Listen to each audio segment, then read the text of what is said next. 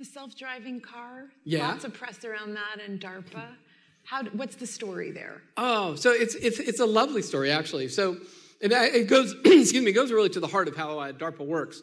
So there were uh, um, hor- horrible footage. If you ever see this footage and somebody offers you, please don't see it, of these poor young 18 and 19 year old uh, kids basically in convoys in Iraq and getting hit by IEDs and they'd be in a fuel truck and, and it's just horrible burns. But the one thing I'll tell you, if you see anything like that and you feel that you have any technological capability to fix it, you have a moral obligation to fix it.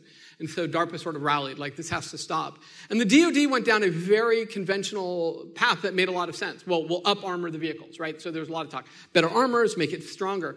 And it takes DARPA to sit back and we went, or don't put anybody in the car. Uh, and everybody laughed at us. And they said, what, what self, self-driving vehicles? And we're like, sure.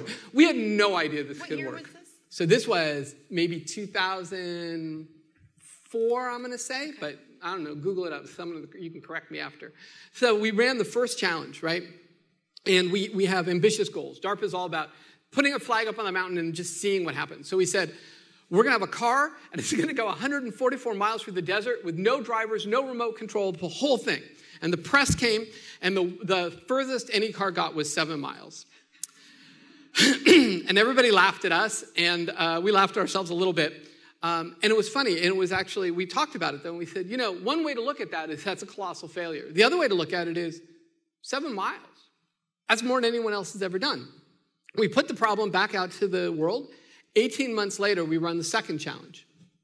The car that did the worst did more than seven miles. 10 cars finished it. The guy who won it is a man named Sebastian Thrun. Sebastian Thrun now goes to Google, and if you have Google cars and driverless cars, that's the origin of it. Now, the commercial aspects and making it all awesome, that'll be Sebastian and Google, and, and that's how we partner with them. Our job is to sort of take the technological risk off the table, but that's a huge step between that and a, and a product you get. And that's where the commercial companies come in and do uh, amazing jobs.